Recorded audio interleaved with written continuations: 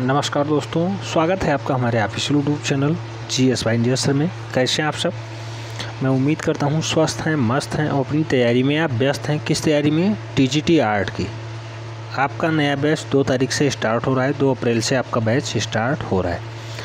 बहुत सारे लोगों को टेंशन है कि सर, प्रावैधिक कला जो हमने दिया है, प्राविधिक कला इसका रिज़ल्ट कब तक आ जाएगा? बेटा, इस वीडियो में हम लोग रिज़ल्ट पे ही फाइनली बात करने वाले हैं। आप सब जानते हैं, प्रावैधिक कला का जो पेपर हुआ है, माध्यमिक शिक्षा परिषद उत्तर प्रदेश प्रयागराज के द्वारा कराया गया था।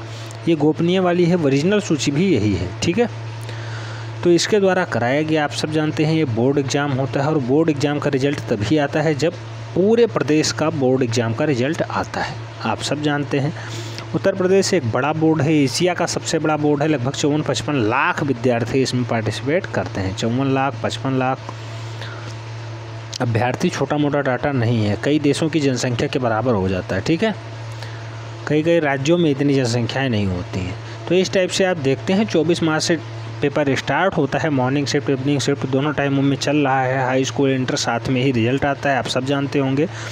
24 मार्च से पेपर स्टार्ट हुआ है और लास्ट में फाइनली अंतिम पेपर कब गया है? तो बेटा वो गया है आपका 16 सॉरी 12 अप्रैल को। 12 अप्रैल दिन मंगलवार को फाइनली गणित का पेपर दसवीं में है और बारहवीं में बहुत सारे हैं, पाक, शास्त्र, सब कुछ इसी में है। तो यानी 12 अप्रैल तक आपका पेपर होगा तो 12 अप्रैल से एक महीना लगभग 30 दिन तक कापियाँ चेक होती हैं।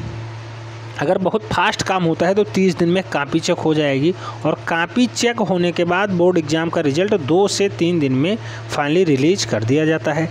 तो 12 तारीख है अप्रैल में। अप्रैल से मई। मई में 15 मई तक आपका रिज़ल्ट आपके सामने आ सकता है। मैं उम्मीद करता हूँ 15 मई के पहले आपका टीजीटी का रजिस्ट्रेशन भी यानी स्टार्ट नहीं होगा। तो आप परेशान बिल्कुल भी ना हो।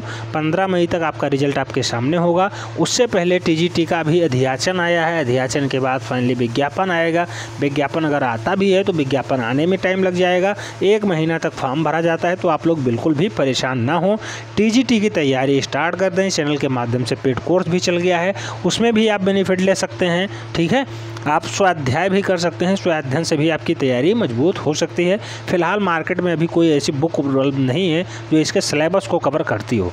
अगर कोई बुक ऐसी उपलब्ध होती है, आपको तुरंत सूचना दी जाएगी। फला वाली बुक बहुत अच्छी है। आप लोग ले लीजिए, आपकी तैयारी में बहुत ज़्यादा हेल्पफुल है। तो बहुत सारे कमेंट आ रहे थे, सर, इसका रिज़ल्ट कब तक आएगा? बेटा, आपको फाइनली पंद्रह तारीख तक वेट करना ही पड़ेगा। तो अप्रैल से मई में फाइनली आपको रिज़ल्ट देखने को मिलेगा, वो भी 15 मई से 30 मई के मध्य। 15 से 30 मई के मध्य और आप परेशान बिल्कुल भी ना हो।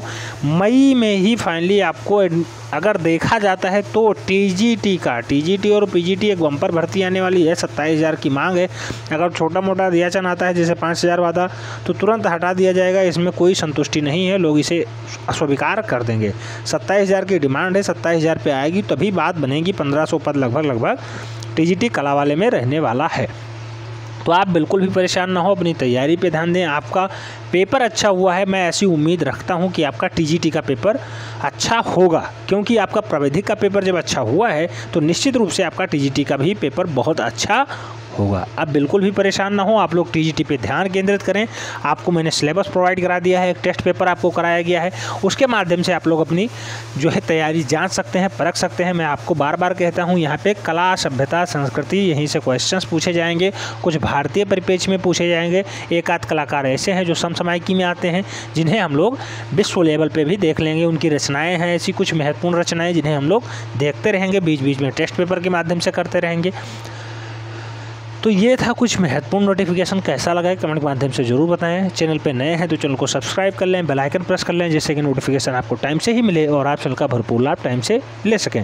उम्मीद करता हूँ आप लोग टीजीटी की तैयारी स्टार्ट कर चुके हैं। मिलते हैं नेक्स्ट राउंड में, तब तक के लिए जय हिंद।